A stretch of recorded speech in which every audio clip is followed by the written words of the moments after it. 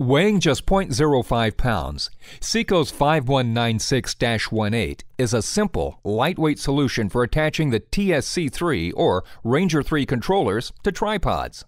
It's made of strong stainless steel and designed to fit precisely on the back of the controller with or without the unit's hand strap in place.